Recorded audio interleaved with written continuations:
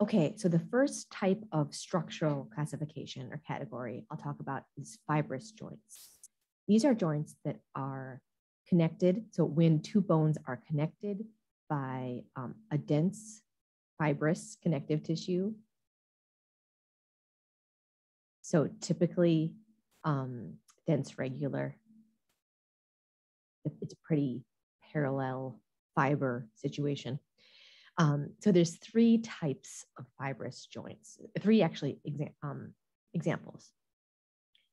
First one are sutures. Mentioned these already. These are fibrous um, connections between the bones of the skull, um, where you actually have separate bones. So here is the, the frontal bone versus um, temporal, parietal bones. There's different bones that make up your skull, connected by these sutures. Very strong. Um, these are synarthroses. They are immobile.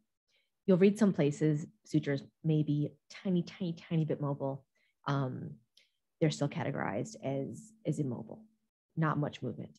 This type of joint is important for um, skull and brain growth during development.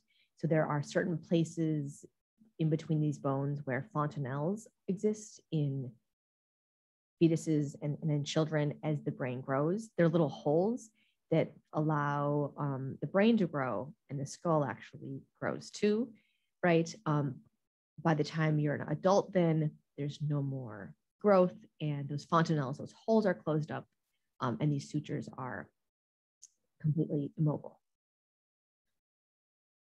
Okay, then there are fibers that connect your tooth to the bones of your jaw. So maxilla and mandible, two different bones where your teeth are embedded. Um, these are called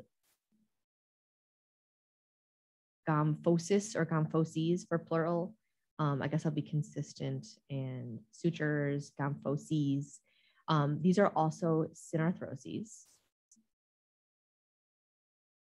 So immobile joints where your tooth connects to the bones of your jaw. You want that to be immobile, right? So you can chew things um, and not have your, your teeth move around as you are chewing. So anchoring the tooth into the, the socket, actually.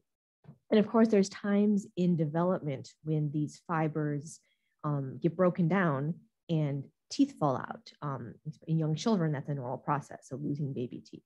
Um, other than that, you want these fibers to stay in place and, and hold on to that tooth. Um, I also remember gomphoses, so like kind of like nom nom or gum um, makes you think of the mouth. So that's that. Um, then there is one more type that is going to actually be a, I'll write this first, uh, amphiarthrosis. So they are amphiarthroses. Um, these are membranes that connect two parallel long bones together. So these are going to be called syndesmosis or syndesmoses. Um, and they are going to be slightly mobile because although they restrict, they keep those two bones together.